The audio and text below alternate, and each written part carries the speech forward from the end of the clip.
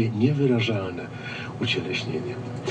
Rozmawiała z nią Monika Zając. Czekamy na kolejne spotkanie w drugim etapie, a może będzie okazja, by posłuchać też i Beethovena, i Izei z tego pierwszego etapu podsumowując.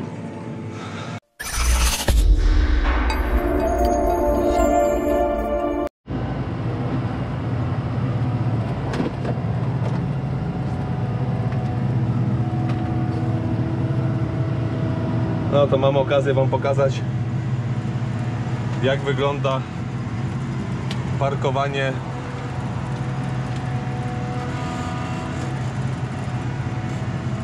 na naszym, pod naszą wiatą, póki jeszcze kombajn nie dostanie póki kombajn nie dostanie swojego dedykowanego miejsca i nie będzie skończony wjazd, także nie ma lekko.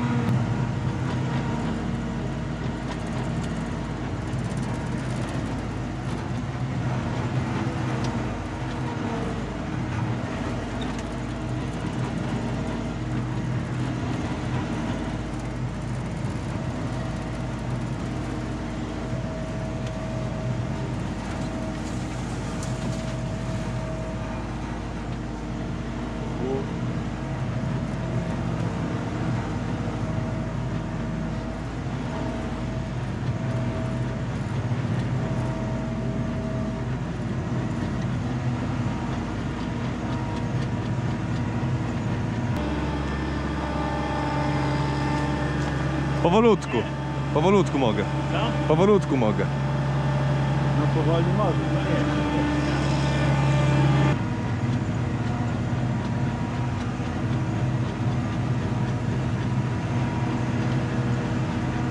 Pięknie. Koła tylne praktycznie nie wjechały poza drogę.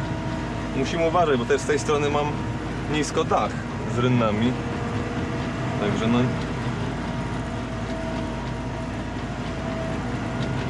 Nie jest lekko.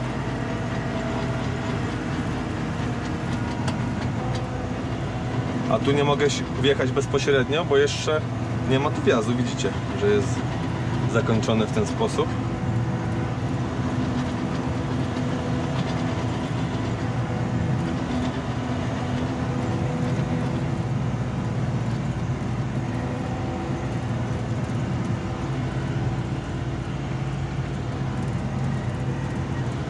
O.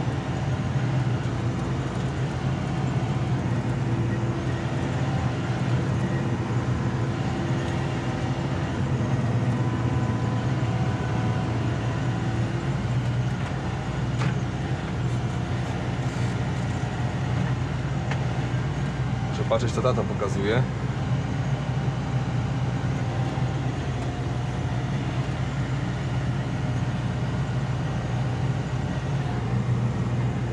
Widzicie, kamera to już tak pokazuje, że już jestem wszędzie. Tu mam zaraz koparkę. Wszystkiego ponastawiane, a jadę przez...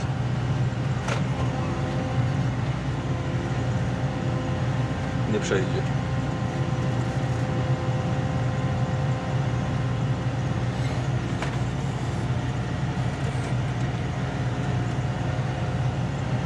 Dolnym lusterku Zauważycie, że jed- idę na centymetry między paletami z, z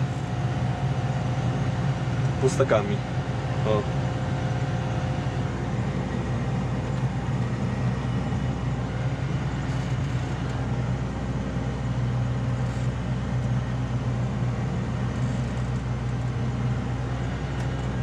Koparka stamtąd odjedzie, te pustaki, wjazd będzie skończony, będzie inaczej. A na ten moment jest, powiem wam, niesympatycznie.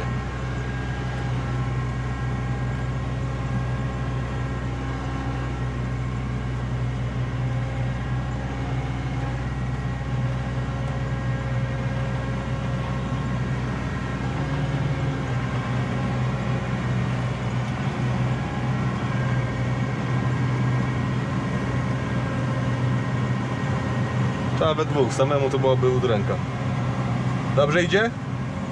Dobrze?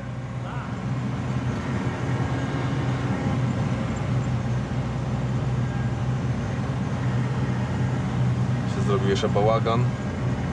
przez żniwa, bo to ciągły, ciągły pęd, rozładowywanie, przepinanie maszyn, rzucanie rzeczy pod nogami, żeby zaraz pójść do następnej roboty. No i niestety.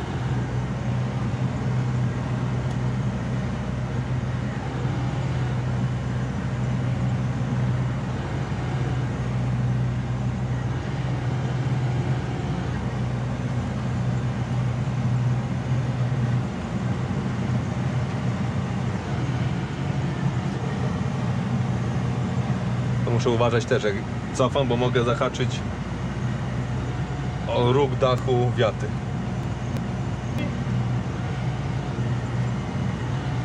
Tato nie pomaga. Tato nie pomaga. Jest presja. Już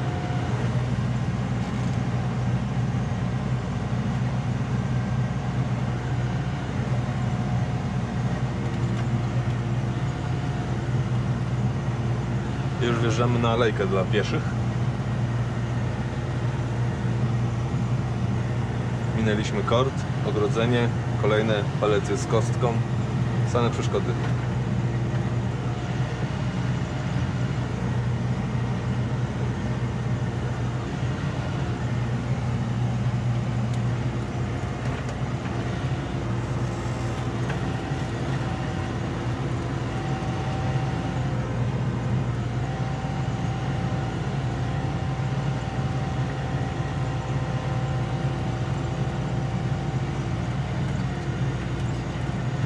No.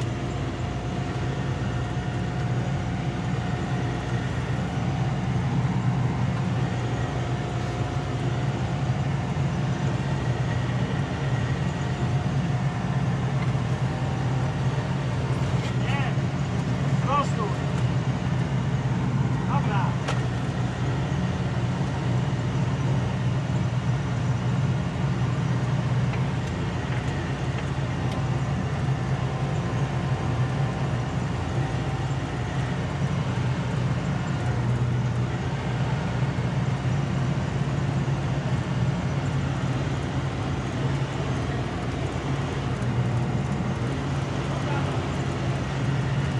Prostujemy, nie?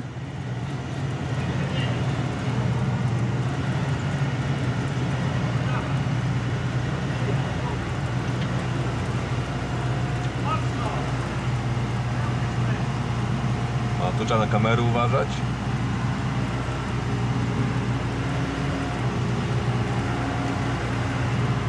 Podniesiemy gardziel.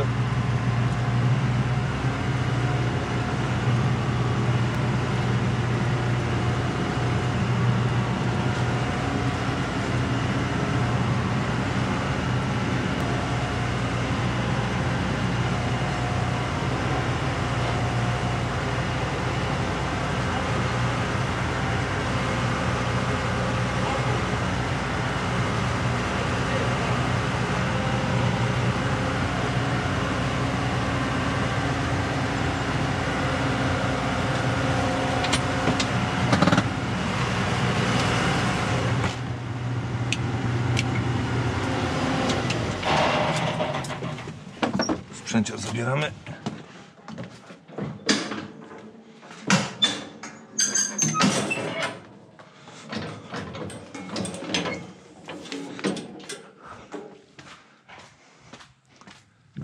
Ty no cały pod dachem, tylko sieczkarnia, rozdrabniacz słomy wystaje. Ale tutaj się nic mu nie stanie. A tu prak... Gdzie? Co?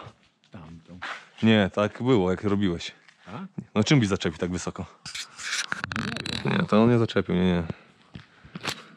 W porządku, w porządku, dobra. Czyli mówisz co, za wiatę się zabieramy? Dobra, potrzebna wiata, potrzebny porządek na gospodarstwie. bo